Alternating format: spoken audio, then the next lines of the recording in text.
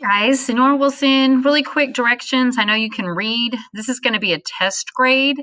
So it's all about your one proverb that you narrowed down to, which is going to be your mantra, kind of your saying for the year. So there is a one pager that you can open and look at. Um, it's not that one. Where is it? I don't know. This one. It looks like this. Um, if you're a virtual student and you don't have a printer, then just get you a white piece of paper or whatever you have and make one that looks like this. So you need the two squares, the one rectangle, and then the one big rectangle down here with a border. The border is going to be important. Um, this is all going to be hand done. You guys do not do a good job, I have seen, when I let you um, use the computer. So, going to be hand drawn. Up in the top left hand corner, the little bitty box at the top, you need to include five adjectives that embody your mantra. So, five adjectives that would work in place of your mantra that are basically the same. Um, in the top right, you're going to include at least four colorful illustrations that embody your mantra that you actually hand draw. Now, I can't draw, so I'd pull something up on my phone and trace it and color it. That's what I would do, but you do what you want. In the middle, that's where you're actually going to write your mantra or your proverb for the year.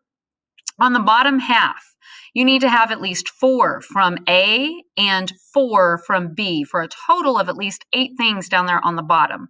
So right here in A, uh, it says written examples of how you will employ your mantra. So like if yours is something to do with um, better late than never or, or something like that, um, you might set an alarm to get wherever you're going 10 minutes in advance, or I don't know. You're going to give me four ideas on what you're going to do to help yourself accomplish that mantra for the year.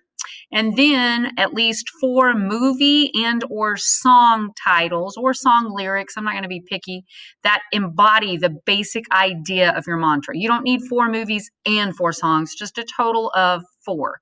So if you put a movie down there i might question you and i might say hey why did you put this movie title? And if you can tell me that's awesome. If you put lyrics in a song, make sure that they are school appropriate. Please notice there is, let me highlight this, the border is going to be worth 10 points. You're going to include four other quotes or proverbs that relate to yours. So make sure you find those. I'd put one on each side for a total of four. And color and creativity is going to be 30 points. Some of you are good at this and take your time. Some of y'all slap it together, and that's going to be a total of 30 right there. Because if it's a slip slap job, you're going to have a slip slap minus 30 points. So heads up, get this done. You're going to have Tuesday, Wednesday, and Friday to get this done. We will only have tutorials on Thursday. Yay! All right, if you have questions, holler at me. Adios.